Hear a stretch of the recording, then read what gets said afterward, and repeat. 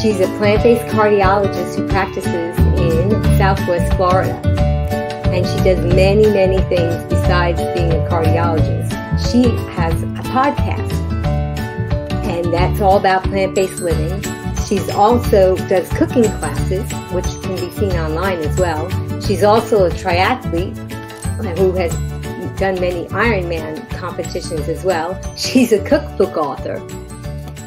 And that's all about plant based lifestyle too. So you can see that she does so much and a lot more than we even are talking about now. So we're going to introduce her right now.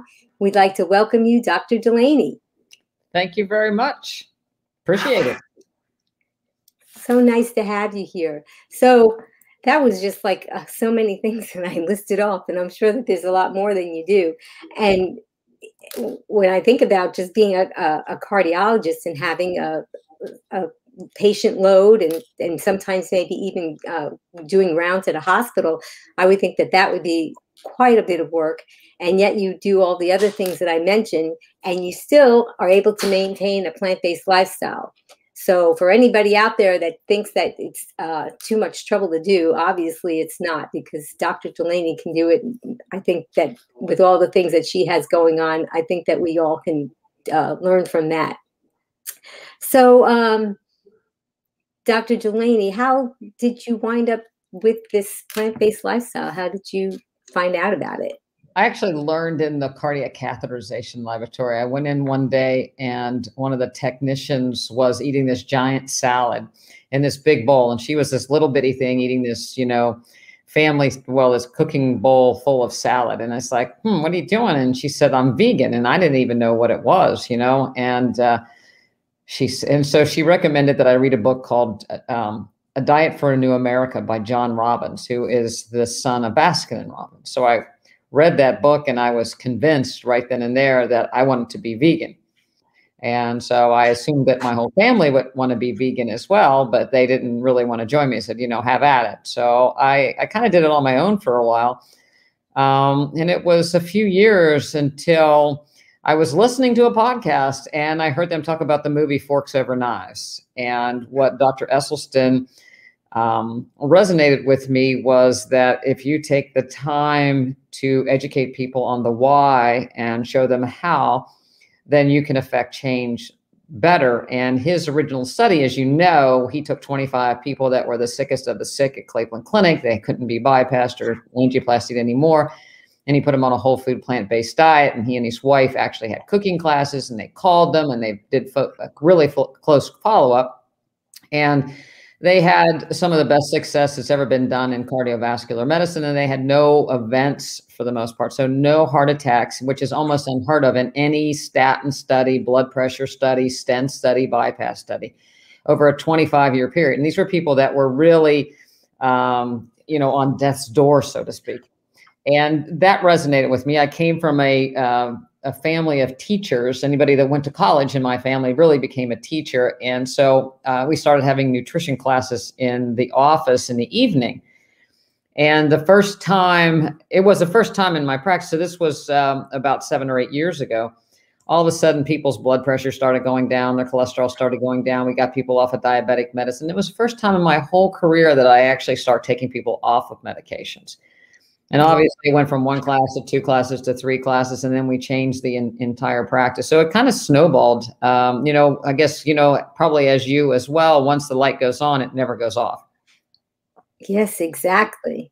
And and obviously, you know, it's it's nice to have a visit with the doctor that supports this lifestyle and can educate you, but you can't just do this all in an office visit to no, help help no, I, yeah, I, I, tried that early on. You know, uh, I had my regular cardiology practice, which was uh, primarily a preventative practice. So I would get referred people for some sort of chest pain, cardiac condition.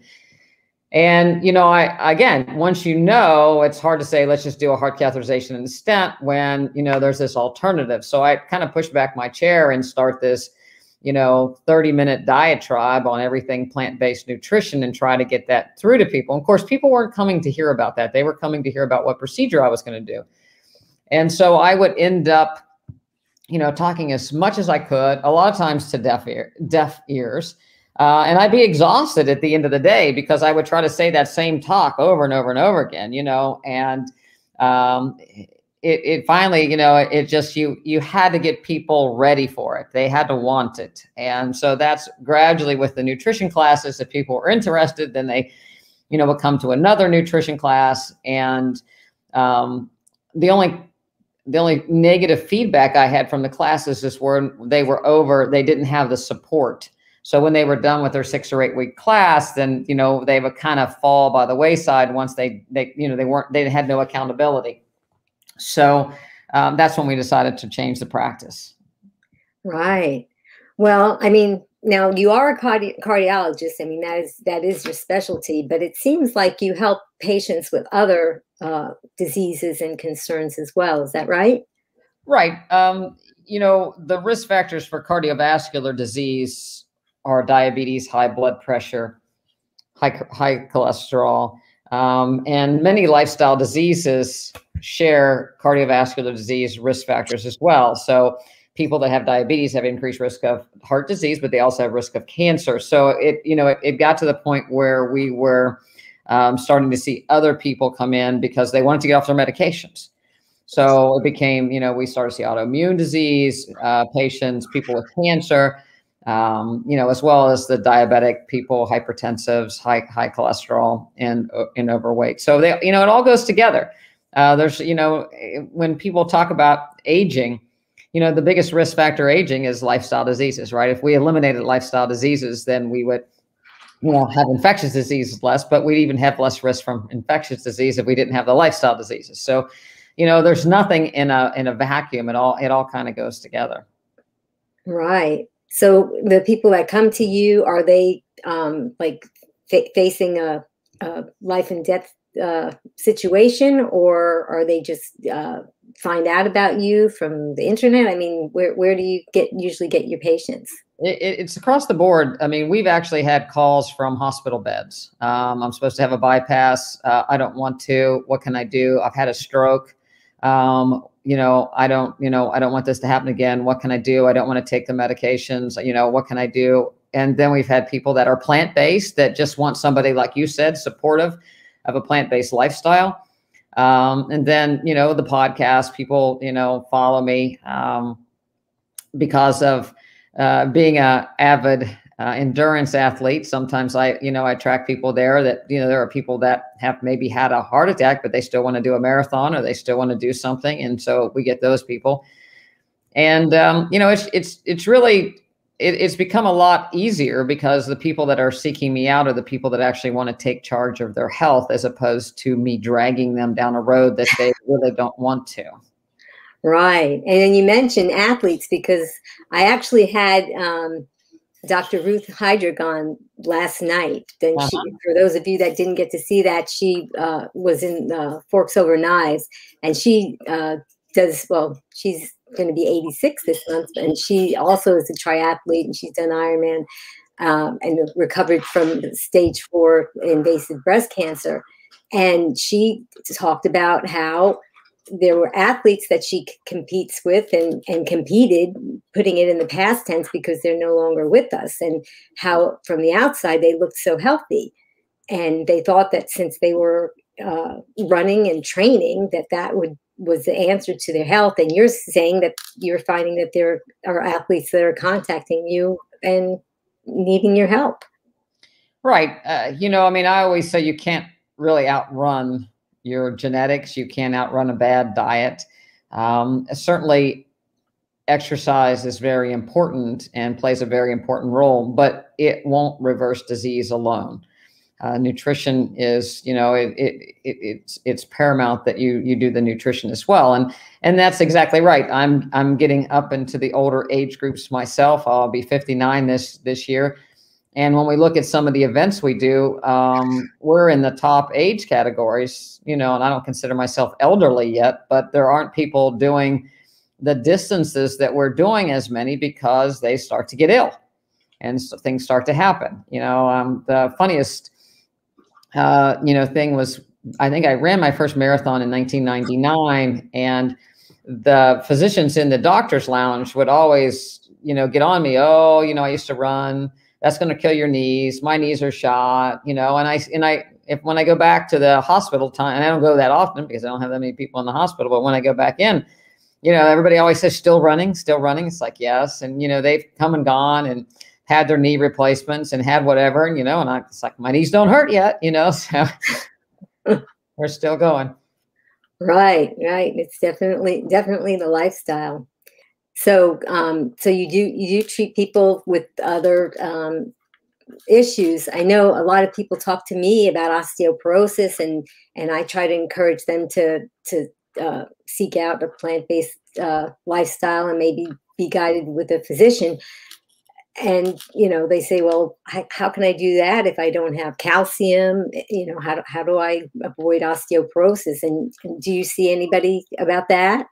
Absolutely. People come all the time to me with a history or a diagnosis of osteoporosis, and they're not plant based. And so, you know, 96% of the world, or especially the United States, are not plant based. Yet, osteoporosis is one of the leading diagnoses. If you go to Walgreens or CVS, there's shelves of calcium supplements, vitamin D supplements, you know, um, arthritis supplements. And of course, there's all kinds of prescription medications for osteoporosis the United States, Great Britain, and Denmark are the, the countries with the, the highest level of osteoporosis and the highest intake of dairy uh, and, and animal protein. So, you know, if if the standard American diet was was a prevention, and that's you know certainly there's cheese on everything, right? When you go out, it's hard if you're plant based, and if you ever tried to order anything, you always have to say hold the cheese a million times. Yeah, and I order a salad and I forget and they have cheese on the side. yeah. they put cheese where you never thought there could be cheese, you know. And we even see that in the doctor's lounge, by the way, when they have the,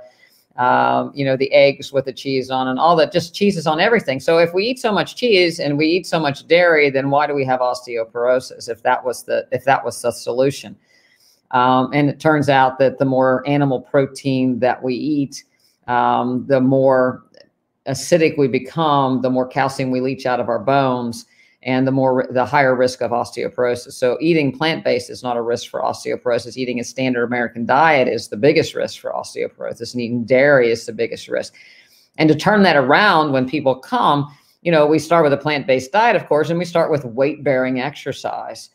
And it's very interesting. Um, some of the studies with weight bearing exercise, it's not just, you know, people talk about, well, walking versus riding a bike. Well, obviously, walking is going to be more weight bearing. Doing strength training is more weight bearing, but it's also how you stand, how you walk, daily act, chores of daily living, how your posture is really determines the weight bearing load and bone growth. So we actually work with people in the practice to change the posture, change their mobility so that they're actually getting um, all that they can out of their exercise program.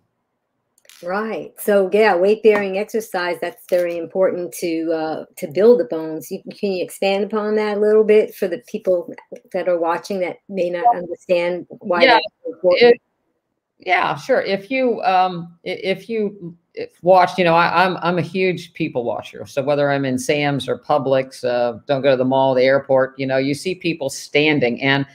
Uh, especially women, we've we've worn high heels, um, you know, most of our lives, and because of that, our weight, the heel is up and our weight is tilted forward.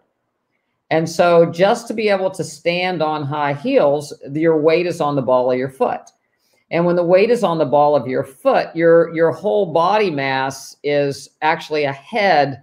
Your you know your head is a, a um, in front of your spine, right. and so you're actually putting more weight on the on your feet and less on your spine and your pelvis where you should be standing.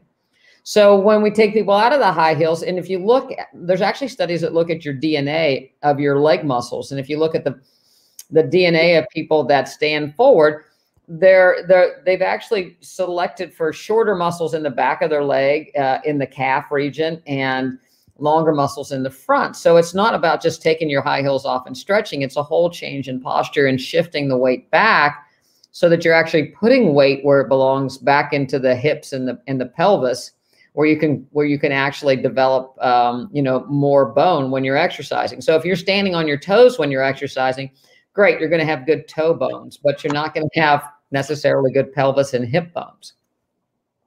Right. Wow, that's very interesting. And then when you talked about that, I thought about the 10 pound purse that a lot of women carry. yeah, so you put a 10 pound purse, you know, you go to the side and, um, you know, so, I mean, we've really, we've really uh, put ourselves in a, you know, a, a, bit of a bind with just our acts of daily living, um, you know, as well as our diet. Yeah. Another thing that I have people ask me about because you know I've I've learned that uh, I, I have diabetes, type two diabetes. I don't have it. I have type two diabetes that runs in my family, mm-hmm. and um, so I knew that you know I was I was probably headed that in that direction right before I discovered this lifestyle. I would get shaky in between meals, and and it, it wasn't pretty. So uh, so uh, fortunately I, I, I learned about the lifestyle but there are other people that have type 2 diabetes and, and they're worried about the fruit. They're worried about you know the carbs. So maybe you might tell us something about that. I've never seen a fruitarian that had diabetes for starters. So um, and I'll, I'll even challenge people um, just eat grapes all day um, and check your blood sugars see what happens uh, because it's not the the fruit. The fruit um, is the the sugar absorption from eating whole fruit, not juice, but the whole fruit is slowed by the fiber and the other antioxidants in the fruit. It's one of the healthiest things that we could eat. We all have a sweet tooth. It's our main taste bud for a reason. You know, if something is sweet, it's unlikely to be poisonous or rotten. Um, so um, it's it's a you know it, it's a it's a good uh, taste bud to have to to want something sweet. It's been ruined by you know processed foods and cakes and candies and things like that because obviously you know a uh, an Oreo is much sweeter than an apple. Um, so we get confused as far as what is sweet.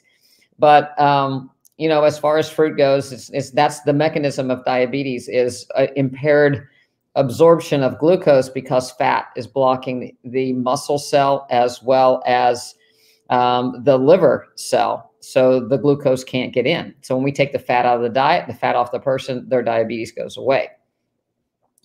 That's very profound. I don't think that people would realize that if you had type 2 diabetes, that it could actually go away just by changing what you eat and especially eating grapes all day as an experiment to show it worked. You know, it worked. You know, the, the other thing is I'll ask people, it's like, so what is a piece of cake?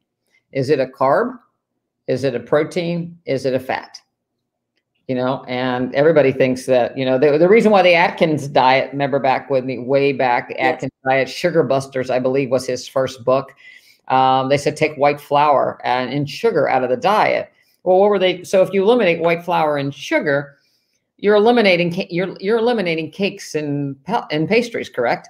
So you're eliminating fat with that as well. So a you know a piece of cake is cholesterol from the eggs and saturated fat from the eggs and fat. And yeah. Right, and it, they're also sugar and flour, but it's you know it's a combination. It's not just a carbohydrate. So you know that's why you know a, most diets work to get weight off of you. They don't necessarily reverse disease, but you can get weight off because when you eliminate those foods, then obviously, you know, weight comes off. And but the problem is people can only do it for such a long period, you know, a period of time that they put themselves in dietary jail and then um, they come off. Right, exactly.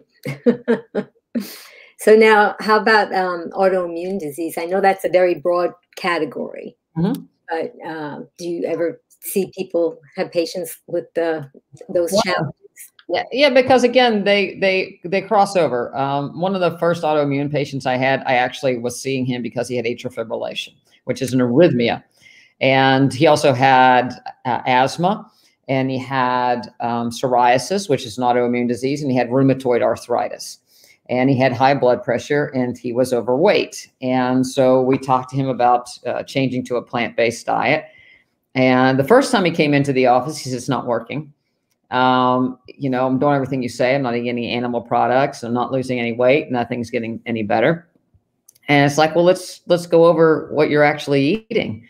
And he started to tell me about the the big um, cookie tray of vegetables that he put in the oven, and he showed me, you know, with demonstrating the olive oil bottle, how he just went back and forth and back and forth and put all this olive oil on these vegetables before he roasted. It. And it's like, well, I think I found the problem. Um, we took the olive we took the olive oil out of his diet, and um, you know it came back in. He lost weight. His his rheumatoid arthritis improved to the point where he could get on the ground and tile his floor. His psoriasis went away. So autoimmune disease, you know, are things like rheumatoid arthritis or lupus or Sjogren's or multiple sclerosis, um, where the body attacks itself. It's a abnormality of the immune system. And the control center of our immune system lays in our gut. You know, we we used to think that, you know, it was all lymphoid tissue and the spleen, but really the control center is right there in our gut with our gut microbes.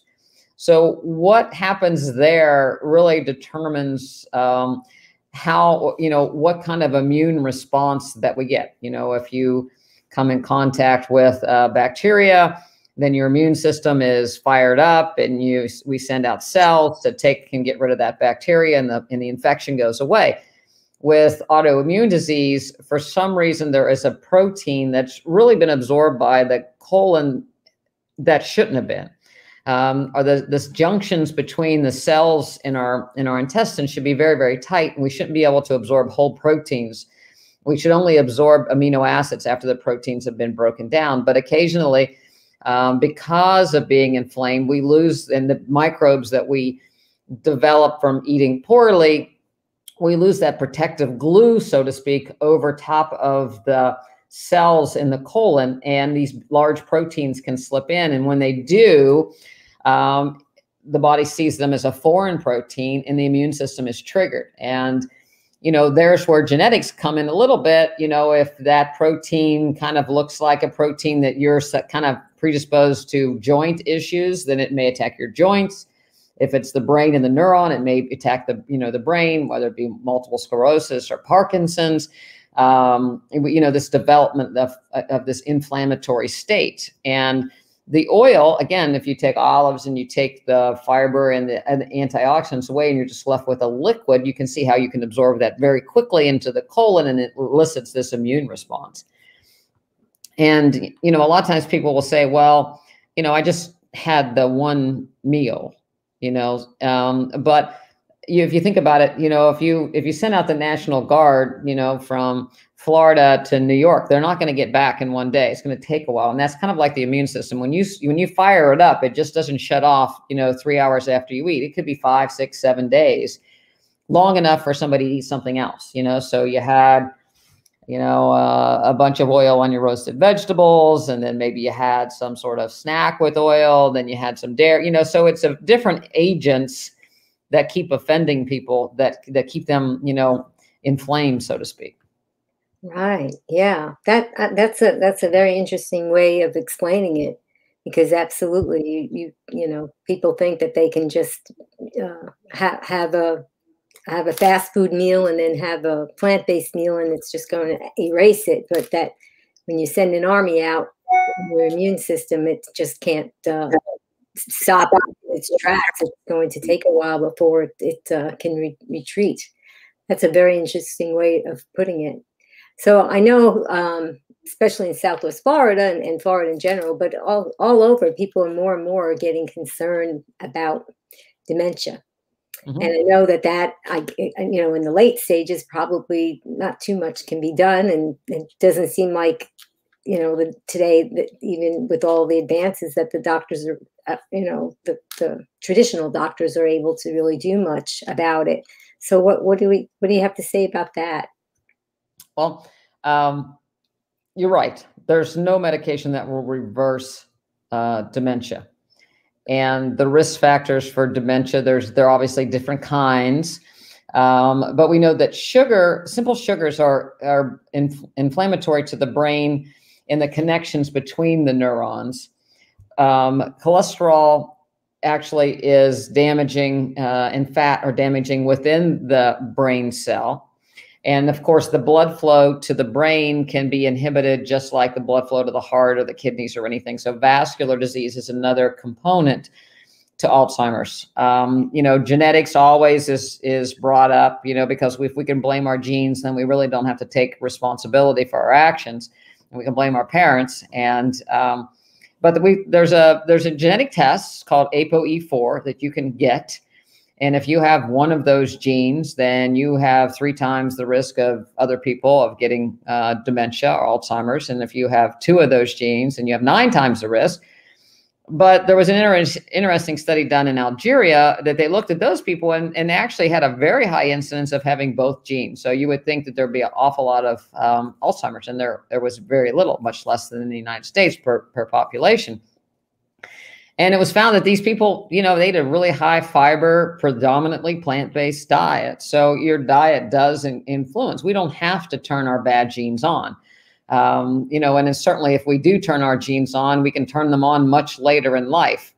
Uh, I like to think of, you know, we accumulate metabolic waste, and the more waste you take in you, and you keep accumulating, the earlier problems happen. Right. So the soon the sooner we can switch over to a plant based lifestyle, the better for for our uh, potential uh, lifelong brain health. And right, you know what we eat, we have to deal with. You know, so uh, you know, regardless of of what we eat, you know, we have to uh, metabolize it and compartmentalize it. And you know, people say, well, what about salmon? You know, um, I heard salmon has good fat and it, yeah, it does. It has omega 3 fatty acids. Those are good. But salmon also has saturated fat and it has cholesterol.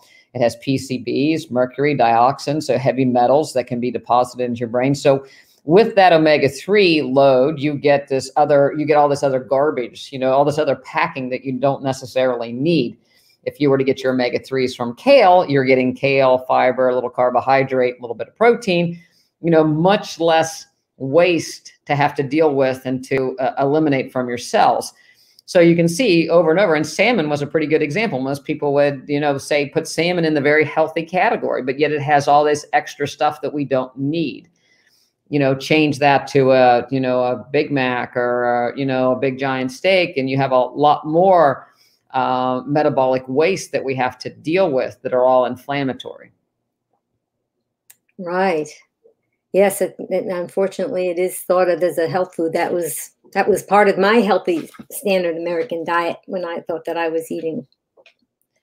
Uh, I think that a lot of people, you know, that disease, a lot of um, people say, I eat a lot of blank, I eat a lot of fish, I eat a lot of chicken, I eat a lot of this. And, and I was like, well, first of all, a lot of probably, you know, even, you know, that's not what we're going for you know a lot of in in in, in our country where where you know most of our diseases are from too much not too little. So there's very few lifestyle diseases that result or diseases in general result from not enough of but for the most part too much of. Right.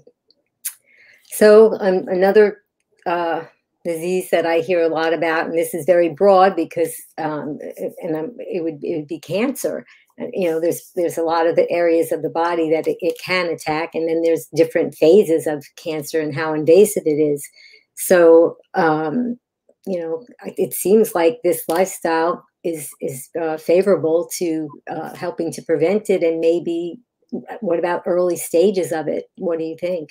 Oh absolutely. You know um, unfortunately, um, the war on cancer was started by uh, Richard Nixon in the 70s, I believe is when he was president. Um, and we haven't really cured it, right? Um, there are more cancers, we have more drugs, we spend more money on it, but we haven't certainly cured it or put it behind us. And it takes, uh, you know, uh, about 15 billion cells to, to actually make a tumor the size of a dime. So by the time we can detect it, you know the the cancer the tumor has grown out of control for the most part even if it's tiny um, that mechanism that has caused these cells to to start to grow ha, has really um, started to increase. And again people go back to well i have you know a genetic disease but it takes some stimulation. So even if you have the worst genes for cancer you have to have something that turns on the gene. It just doesn't you know all of a sudden turn on you have to have some protein or make some something some environmental toxin or some some exposure to radiation or something to get these things turned on. And then it obviously needs to be fueled. A lot of people um, you know cancer uh, when we do a pet scan uh, which is looking for cancer with radioactive sugar um, the cancer tumor will take up the, the, that sugar, and that's how we can kind of detect where some of the cancer has spread. And so people have kind of deduced, and if you looked at the metabolism of a cancer or a tumor, they don't handle sugar well, and they handle a lot of it. So people say, well, it's driven by sugar, but sugar is not a grape, and and sugar is not you know a potato. Um, sh- sugar being simple sugar, but it's it's more of a the cancer metabolism is such that it's just not processing. It's it, our whole body takes up sugar. Our whole body wants to run on sugar. This this because it's abnormal. It's not doing it. Um, it's not metabolizing the sugar well, so it metabolizes a lot more. It has a lot more waste products. But so if we change our diet to a very high fiber plant based diet loaded with antioxidants and phytonutrients, you know, a lot of foods have anti-cancer properties, whether it decreases blood flow into cancer so the cancer can't grow, um, whether it actually turns on mechanisms that cause the cancer to, to, to actually shrink. Um, it may even turn uh, some of the foods like turmeric, for instance, um, will actually as an anti-inflammatory will make the immune system attack the cancer. It Im improves our immune system. So the opposite of an autoimmune disease is basically cancer. Cancer is when the immune system doesn't see the tumor and it turns its head and the cancer can grow. Where autoimmune disease, the immune system is fired up and it attacks everything in sight. So we need to restore balance in the body, and the best way to do that is is through nutrition. And you know, clearly uh, that's a big role in turning around uh, cancer and preventing it is is nutrition. And you know, sometimes I see studies and you know, I've had some argument with oncologists, and it's like, well, you know, this this particular great chemotherapeutic agent, you know, has been shown to extend disease-free survival for three or six months. And it's like, well, you know, I'll put kale up against that any day of the month. You know, I mean, so if all I have to do is do something for three months and not make you sick and not make, you know, I mean, there's a lot of things that, you know, we we take the nutrition out of you know, it's, it, it, it could play a, a huge role. And, you know, so whether somebody is going undergoing traditional therapy uh, for cancer or they're trying to prevent it, certainly a plant-based lifestyle is not going to hurt anyone and it's going to just help. Right. And like you said, I mean, it's, it seems like everybody has some kind of small amount of cancer cells floating around in their body somewhere. And I mean, our, our body, we're having, we have cells that go awry uh, and we have DNA damage all the time and our, and our body repairs them. Um, but again, when our immune system becomes, as we age, we lose, our, we lose white blood cells, we lose, our immune function starts to decline. So we're not as astute, you know, just like you, you know, you may not be a, as aware as you get older or when you're driving down the street, you know, of all the cars or different people. Um, your immune system is not as aware either when you get older. So we have these are right. So we yes, so we have to have things to help us, you know, help us out, help our immune system out. Right. So it sounds like if somebody would incorporate uh, things like turmeric and kale, and that's not, that, that's not to say that there aren't other things that are in oh, plant-based lifestyle yeah. that are good, but why not do it before uh, diagnosis? Right, you know, onions and leeks and the everything onion family are are huge. Mushrooms, you know, and breast cancer are huge.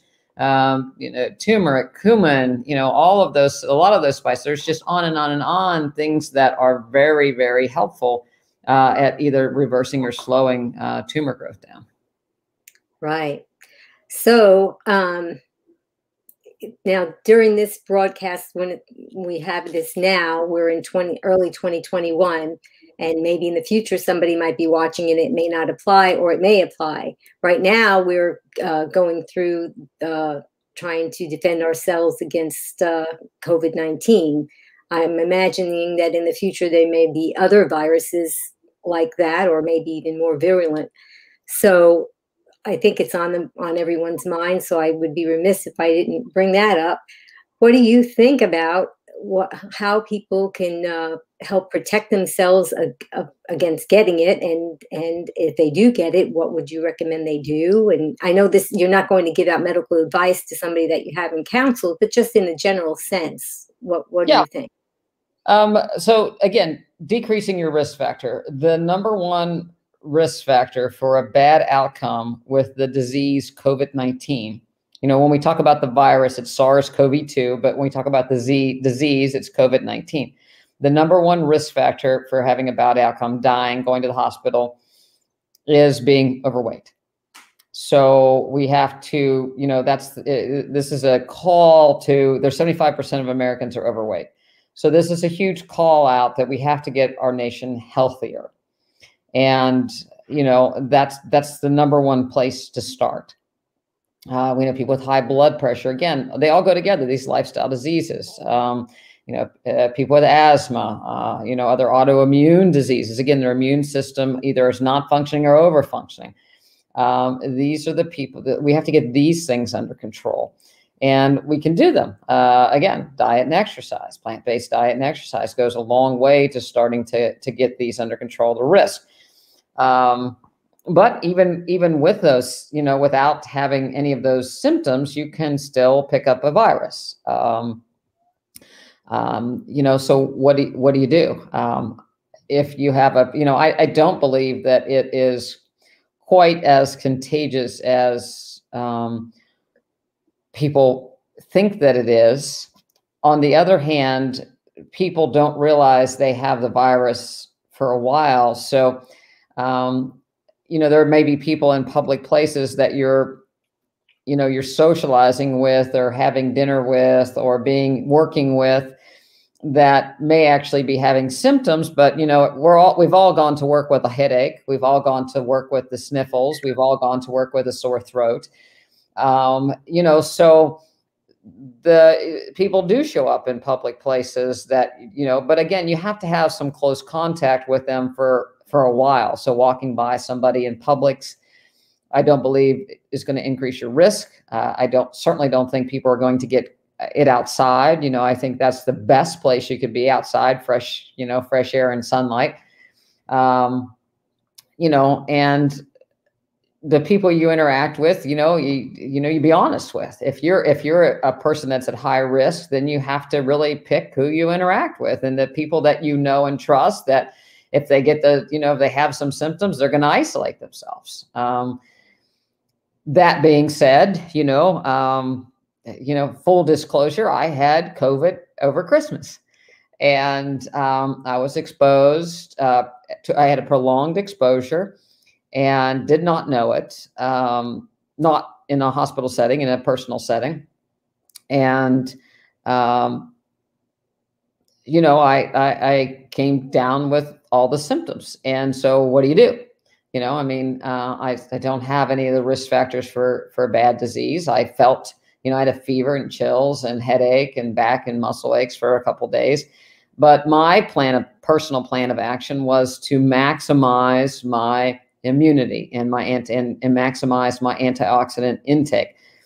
I believe that I was susceptible. I'm training for a 50 mile race here uh, in two weeks. And so I've been running 60 miles a week. Christmas, you know, I mean, I, I really do believe that I let myself get run down uh, and that's kind of what made me more susceptible. That and a pretty heavy exposure, you know, the perfect storm, so to speak.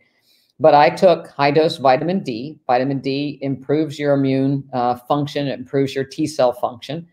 So uh, I took 25,000 uh, international units of that. I, um, you know, vitamin D levels is controversy. I'm sort of, certainly out in the sun running all the time, but I want to make sure my vitamin D levels were between 50 and 100. Um, vitamin C is the most potent antioxidant that we ingest. Our body doesn't make it. Um, we have to take it in. Animals make it. Uh, for instance, um, you know, a goat, when a goat gets sick, it makes 300 times the amount of vitamin C that it does on a regular basis. So when you think about increasing your vitamin C 300 times because you have an infection, it's really hard to do that with an orange. Um, you know, so a piece of citrus or tomato or bell peppers, they have, you know, 70, 90 milligrams of vitamin C. Um, we're trying to increase the antioxidants to 25 grams when to help fight infection. So that means taking in, you know, I, I took in liposomal, which is a coated vitamin C, as much as I possibly could get in. Um, and I aimed for about 20, 25 grams. Zinc's another thing um, that's been shown along with uh, another antioxidant called quercetin.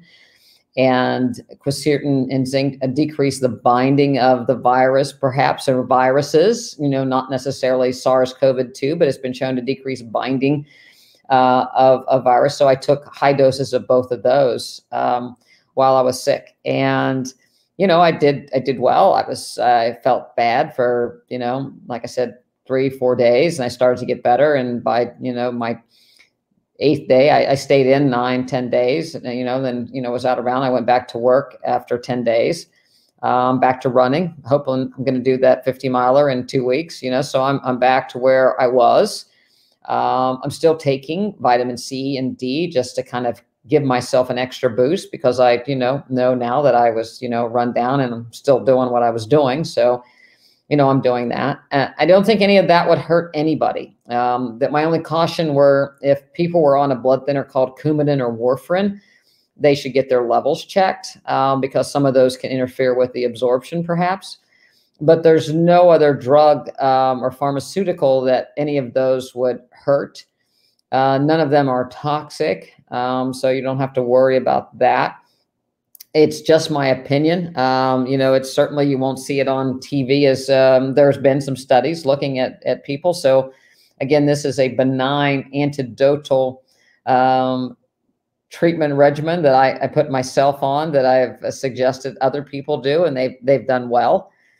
Um, you know, so that that was my uh, you know my plan of attack. Um, you know, we've had patients that um, you know, have been older and got through, um, you know, COVID. It's not a death sentence necessarily, but you need to be really proactive if somebody, you know, has asthma or symptoms that, uh, you know, to, and, or autoimmune diseases to make sure that you're, you know, on top of that early that, you know, um, there's intravenous or I'm um, sorry, oral steroids or there's steroid inhalers, there's antibiotics that you can take that kind of lessen secondary infection. So, you know, you should see your doctor if you think you have, or you should call your doctor if you have those symptoms. Uh, you know, I'm not, I'm going to tell you not to go into the doctor's office with a, you know, if you're ill without calling and expose everybody, but certainly call and get some information from your physician uh, on, on what you should do and keep in good contact. And certainly if you have shortness of breath, then you should go into the hospital. Right. So now you do telemedicine, and I'm and I'm thinking that you pretty much cover the globe with that. Yep, we've had people in several different countries, and um, you know, in practice around uh, around the country, and um, you know, we have a couple different levels of uh, membership into the practice. Um, you know, more of a coaching uh, with a registered dietitian or uh, with myself and the registered dietitian monthly or a full membership. And so when the full people have full membership, I pre- prescribe and treat and advise and order tests uh, no matter where they are. Right. So all the questions that I've been asking you, somebody who became a member could could have your ear and, and talk to you about any one of those things yeah. and get the advice. Absolutely. You know, a lot of people have, you know, doctors where they live, but then they use me as a second opinion. And, um, you know, that, that, that works out well. And, you know, we give people like, you know, people have my phone number, my email. Um, they have 24 seven access to me when uh, they're a full member. So uh, makes it kind of handy when you can call and get somebody to answer the phone right away. Right. And then you have registered dietitian on staff too, right? Absolutely, you know, and um, Addie, uh, who's my daughter as well, uh, as you know, she also uh, has a degree in exercise phys. So we, you know, we do part of our wellness and our movement and uh, things through that as well. So we want to keep people moving as well as eating, eating well. So it's a, you know, it's a nice way to, um, you know, approach the preventive preventative aspect of lifestyle disease. Yeah, absolutely. So, for those uh, that are watching that maybe are already on this lifestyle and they do know the benefits, and that's why they're doing it, other than the fact that you can eat as much as you want and it's delicious. Um, some of them are kind of concerned about, you know, you talked a little bit about vitamin D and C. What, uh, kind of blood tests should someone who um, has their uh, primary care physician that they see you know, what, what kind of blood tests should they order? have them order? Yeah, because vitamin C varies day to day. You can't actually check a vitamin C level, but you can check, and you can't check a zinc level because again, it varies day to day. But you can check a vitamin D level because vitamin D is fat soluble and it's actually deposited into your fat. Um, uh, so um, you can have a vitamin D level checked. Um, you can get inflammatory markers checked. Um, so those are, are, are good. And of course, obviously your B12, if you're plant based, that you should know what that level is. Um, you know, just because that B12 is not, you know, it's, it's why everybody throws plant based under their bus, right? Because you you can't get B12 from plants. Uh, because plants are bacteria and you have to eat uh, the dirt that they're made by you know bacteria in the dirt so you either eat dirt or you eat an animal or you take a b12 a few times a week and if you're not, if you don't have this lifestyle, then you have to take uh, metformin. Uh. and actually, a lot of people, because uh, most animals are raised on feedlots, they don't actually get access to B12 too. So a lot of animals are B12 deficient. So a, a lot of people take B12 because um, they're deficient and they do eat animals. So. Right, right. So what about like DHA, EPA? The, so looking at essential fats, and so the, those are, are what we call our omega-3 fatty acids uh, profile. Uh, omega-3 fatty acids go on to help make things like anti-clotting factors and anti-inflammatory factors and dopamine and serotonin. When you look at omega-6s, then they make things like clotting factors so you don't bleed, and they make um, uh, you know, inflammatory factors to fight off in, infections. Measuring them again, it, it you, know it, it, gives you a you know we and some people will check them to see where they are um, with their nutrition, but the reality of it is you don't need much. You need one percent of your diet in omega threes. We want to lower the other fats. So by lowering the other fats, the ratio becomes better, and um, you know everything's okay. So i i really don't measure much in the way of the omega-3s anymore. Okay that's interesting. I think we might have some um some some questions or comments in the in there. Let's just see if who's oh here we go. We have Carla. Hi, Carla. Thank you for joining us. And this will also be on a podcast. So we're going to read the questions out loud, and Dr. Dulaney can see them as well. And Carla wants to know Is meat required to build build muscle? My son says he has to eat meat to build muscle. um, no, uh, horses have a lot of muscle and, and they don't eat meat, right? Um, you eat cows, and uh, your hus- your uh, son wants to eat a cow because it has muscle, but it uh, it doesn't eat it doesn't eat meat either. And if we put uh, your son in the corner and didn't let him exercise and just gave him steaks, he wouldn't have lots of muscles. He would I hit my mute button. So I, I, think did you get the last? If you just sat in the corner and ate steak all day long, you would not be Arnold Schwarzenegger. You have to actually do the exercise to grow muscle. Um, if you eat meat, meat has growth factors that will allow you to put on muscle quicker. Um, but certainly there are a lot of bodybuilders that have, um, you know, eat eat you get plant you get the same amino acids, the same proteins when you eat plant based, and so you can get as big a muscle um, by exercising and eating plants is if you were to eat animal proteins. The thing that you get with animal protein is a thing called insulin like growth factor and tumor necrosis factor that actually increase your risk of cancer, especially colon cancer. So, you know, you're better off building muscle and not getting cancer uh, than to have um, big giant muscles with uh, cancer. Right. And and eating in the plant-based lifestyle, your recovery time is much faster when you're an athlete. Absolutely. You know, uh, hands down, um, you don't have the infl- inflammation, so you recover from workouts so that you can train more. And by training more, you'll actually build more muscle. So, you know, it, it all it all works out. There are there are really no hacks.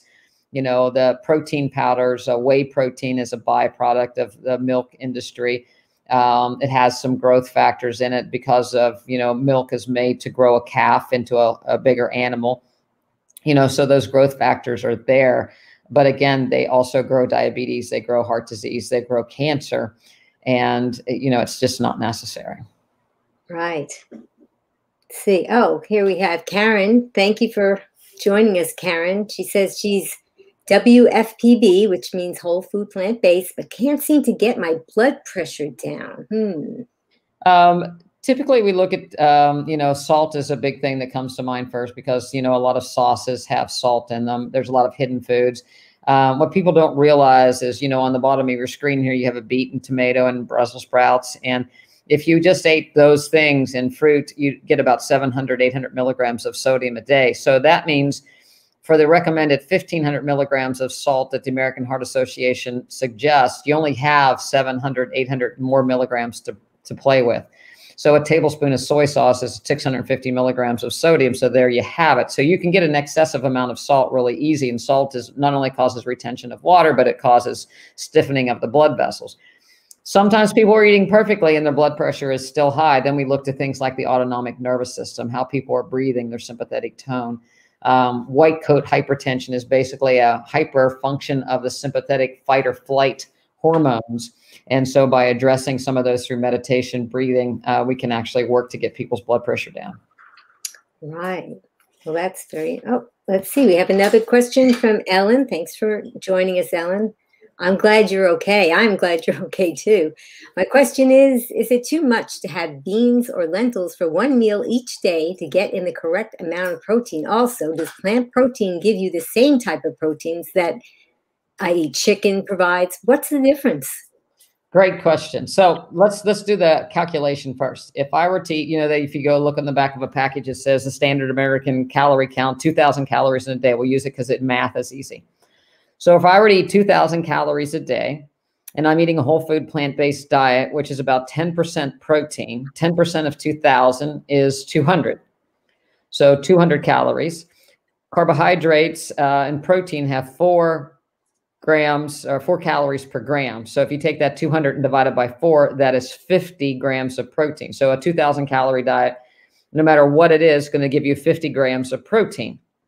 And um, that is, uh, you know, women 40, 45, men 50, 55. You know, the, the bigger you are, the more you eat. So by eating enough calories, you get enough protein. What's the difference between animal protein and plant protein? Uh, when they talk about there's first thing there's a complete protein and an incomplete protein. A complete protein has the exact same percentages of amino acids of the essential nine essential amino acids that human muscle has. So if you look at a human muscle, the closest thing to a human muscle is an animal muscle. So the percentages of those nine amino acids are very similar.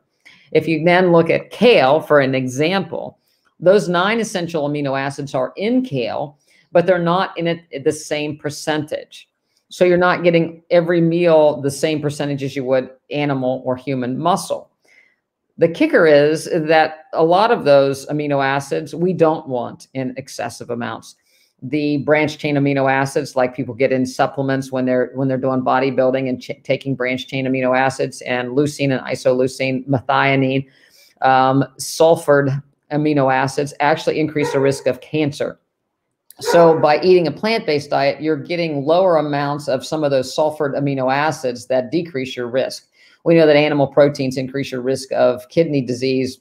Plant proteins actually don't because again, you get the nine amino acids, so you get all you need, but you're not getting excessive amounts of the ones you don't want.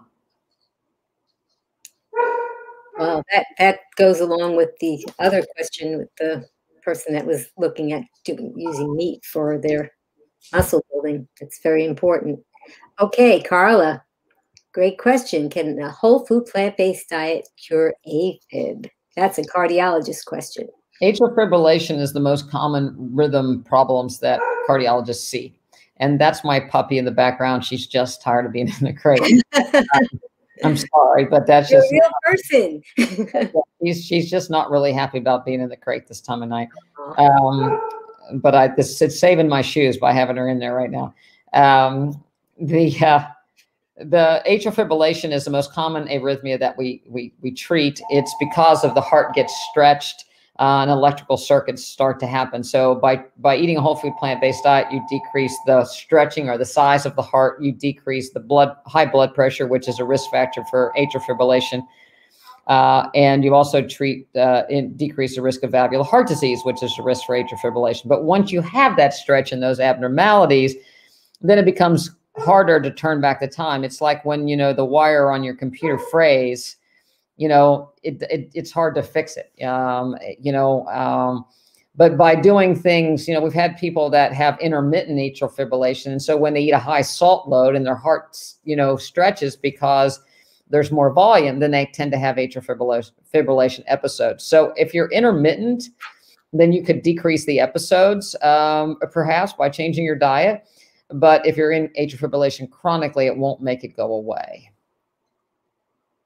Okay. Well, oh, let's see. Someone is asking, what changes did you notice with your training when you went plant based? I recover quicker. Um, I can do a marathon run the next day. Um, so it's just the inflammation in your body goes goes, away. Um, like I said, I'm 59 years old. I don't have any aches or pains or joint issues. Um, you know, I get sore if I do too much. You know, if I do something stupid, I can. I, am you know, I'm not bulletproof. I, you know, I've pulled, throw my back out. I've done all kinds of different injuries, but you you just tend to heal. You heal quicker. Uh, energy's better. Um, you burn fuel more uh, efficiently. You know, you you burn that glucose. Your body wants to run on glucose. So when you're taking in good carbohydrates, your muscle store of carbohydrates are good. Um, so it, uh, you know, uh, people look at me. You know, we we we go uh, to a race and we'll be eating a giant salad, kale salad, real high fiber diet before a race, and people get all worried. You know, it's like, oh, you know, I thought you weren't supposed to eat any fiber the week before a race or all this other kind of stuff. And it's like, no you know, if you're used to eating that way, uh, your microbes are, are, you know, good about handling it. So, uh, you know, it works out good. Actually, I was going to ask you, what did you, what do you eat to fuel for a race? So is that typically what you eat? It depends on, it depends on what the race, I mean, I eat the same up to the day of the race that I always eat. I don't alter my diet, you know, before the race. I don't eat more, you know, I don't eat more pasta. I don't eat more bread. I eat the same same amount, same food and the same, you know, that I that I would normally eat. Um, and actually, I stopped eating, you know, probably four o'clock the night before, you know, just to kind of get everything to go through. We're training for again this 50 miler, and we're actually practicing with eating sweet potatoes, uh, you know, some rice balls and things along those lines, you know, as well as the traditional sugar products that people take in during, you know, a day that you you divert blood flow away from your stomach when you're running so you can't digest the whole meal for the most part, or most people can't. But things like sweet potato, white potatoes, you can actually digest if you slow the pace down a little bit. And so that we're going to do that because the race is going to take all day long. So uh, very portable foods. Very portable foods. Yep. There you go. Okay. Let's see. Deborah said, I hear apple cider vinegar, honey, and hot water like a tea. Do this daily. You lose weight. Is that all true? What's that about? Yeah, no, I mean, you know, most of the time when people do apple cider vinegar and um, they become more health conscious and they give out something, you can't eat, you can't do what, you know, those, that tea and have a piece of chocolate cake and lose weight. That just doesn't happen. It doesn't do anything to change your metabolism or anything else. If you're taking in sugar, honey is a simple sugar, you know, you got to burn it off. So that's X, that's the calories. So I, you know, I, I don't see a reason to do honey, uh, you know, in a in a tea or anything else. That's a simple sugar that's inflammatory for the most part. Right. So if someone was on this lifestyle and they thought that that that they still weren't losing weight, it's the the honey and apple cider vinegar is not the reason why they're not losing the weight that they want to on this lifestyle. Well, yeah, I mean, apple cider vinegar doesn't have any calories, but honey does. You right. know, I mean, I you know, I always look at people. If you if you eat ten extra calories a day, which is like a lifesaver, and you know, so at the end of 365 days, you have 3,600 calories. Well, that's a pound. So just by overeating 10 calories a day, you can gain a pound a year. You know, multiply that by 100, 140. That's a can of soda. You know, uh, so a can of soda extra a day, that's 140. So now you now you've gained 3.6, four pounds a year just by eating a, an extra can of soda a day. So I always tell people look for the simple things. You know, look for what you cut out. Look what what you can cut out of your diet. That's not painful. You cut oil out of your diet, you don't taste it, so you're, you're going to cut five, six hundred calories out without having any pain. You cut the honey out, you're going to have another couple hundred out. So I mean, without actually having to, without actually having to portion control at all, you can start to lose weight. Right. So if, if somebody was a tea drinker, you wouldn't recommend honey. Is there a sweetener that they might be able to use?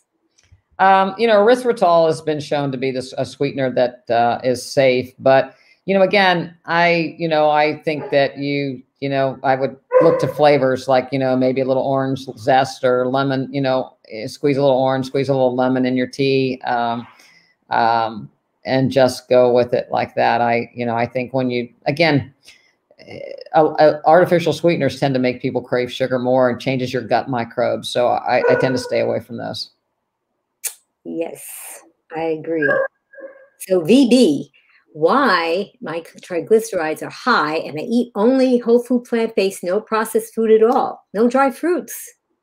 Um, I guess that's no oil, uh, no crackers, uh, no no nuts in your bread.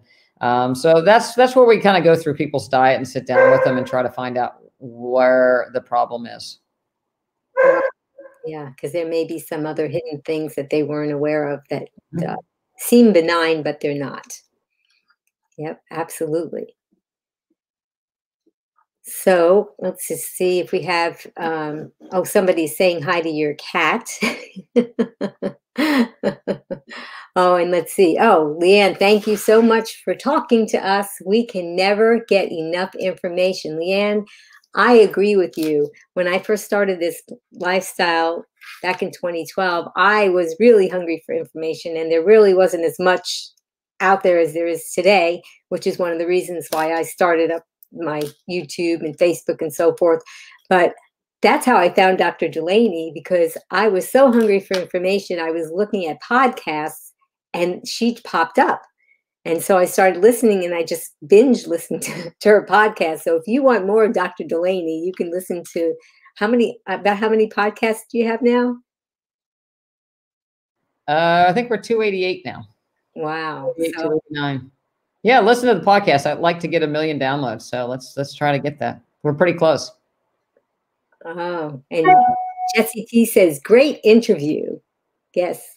I think that oh oh Lisa Lisa's saying that my skin is amazing. Well, whatever you put in is uh, what what comes out and uh, and I even have I have orange hands. I'm very proud of. So the it's not just the the glow; it's also the coloring and all those uh, phytonutrients and all the different colors of the rainbow that I consume every day. They show through to my skin. So thank you. Let's see. Oh, okay. Well, I think we may have. Yes, I think we got through. Yes, we got through all the questions. Um, so, um, is there something else that you might want to tell us about that we didn't cover, Dr. Dulaney? I think we we we covered the gamut pretty good. Um, so I, you know, again, uh, people that have questions about the practice can email me at jamie j a m i at drdulaney.com. Um, again, listen to the podcast. Um, go over to Amazon, pick up a copy of the book. Um, but yeah, I, I think uh, you know, keep it simple you know, get your food on the table, keep it looking like it came out of the ground as much as possible. Eat a, you know, a couple nice big salads a day uh, with your other meals and uh, get out and move your body. Life will be good. Right. And I, uh, I picked up a copy of your book when you did a book signing. So it's a, it's a recipe book. And I don't know if you can, I'm going to try and see if we can show the picture of, can you tell us about the picture? Yes. Uh, so the little lady in the middle is the diva. It's my mother. She's 87 years young and she's plant based. Uh, she uh, became plant based after getting lymphoma. Um, she is the only surviving member of her family. Her mother died at um, 57. Her dad died at 48. And her brothers died in their 60s of heart disease and diabetes. So I think that if you want to blame genetics, there's the exception to the rule. She changed her diet and kind of overcome those things and uh, came up with a lot of the soup recipes in the in the cookbook. She's a she's a great uh, little Italian cook, and when she's she just changed her home cooking recipes, there's shells, stuffed shells in there is hers, uh, and uh, came up with a bunch of the recipes. On the right is my daughter. She's a registered dietitian. Um, made me the uh, proud grandmother here recently. Uh, little Caleb is. Um, going to be a year old in May, and uh, so she's been she was did a plant based pregnancy. We're we're doing some podcasts on that, and uh, little Caleb is now starting to eat food, and he's eating plant based and loving it, growing healthy. Um, so I think it goes a long way to uh, you know three generations, and now we're we're getting a fourth one that's uh, plant based. Wow, that's wonderful. Well, this is a this is an awesome uh, cookbook. It has I think almost, I think maybe a picture for almost every single recipe. It does in the book, which is rare in cookbooks. And they're they're very practical recipes. There are things that uh, even newbies, beginners can do. Uh, we're going to put links to all the things that Dr. Dulaney talked about, including her website and how to get in touch with her and her book and and her podcasts and just like in that in introduction if you didn't see that you're going to have to rewatch this in the replay because i we did a little montage of some of the wonderful things that she does while she uh, has her plant-based practice and, and uh, lifestyle. I also wanted to thank you very much dr dulaney with all the things that you do. It is just so amazing that you uh, carved out a little time for for us and the viewers. Uh, it was it was just absolutely uh, wonderful, very informative, very motivating uh, interview that you did, and, uh, and, and knowing that anybody can just reach out to you and ask you a question is is phenomenal. Um, so it was very inspiring, very informative. Um, and I hope maybe you'll come back again because it just seems like the, the time just flew by, and I'm sure that a lot of other people would have questions if you came back that we would want to address. And um, I also want to acknowledge someone that's been in the background all this time, and that's uh, uh, Rebecca. She's there. She's with. She's from uh, PKA Solves, and she's been uh, doing all the audio and video. She she boosts my remote engagements. She uh, kicked me off of Zoom and told me about this platform and and she's got a lot of knowledge and she's been very uh, helpful to us. Oh, Mary says, "Thank you, ladies. What a service for us. Thanks for for, for and another somebody says, "Will Dr. Dulaney be at the Punta Gorda Veg Fest?" Will Dr. I, yes, I, I will, and I'll be speaking. And she'll be speaking. That's great yeah, we're going to have a Veg Fest rep that's going to be coming on and, and promoting that as well. And uh, that's wonderful. And, and I want to encourage all of you guys, if you could please remember to to like and share and uh, put comments in this. And the reason why is because there's the ways that YouTube and Facebook uh, put out information it's the more people that view, the higher up it goes in the priority. And it's so important to get this message out to people that this is a healthy lifestyle and there's so many um, diseases that aren't necessary to suffer from if we could and, and, there are people out there that don't even know that this lifestyle exists and the benefits that that it offers. So if we can uh, like and share and and and if you subscribe you'll get to know other wonderful i have more uh, physicians and other people coming up that you can ask questions from and uh, and really learn about. So i really encourage you to do that. Until next time, be strong, be well, and be green.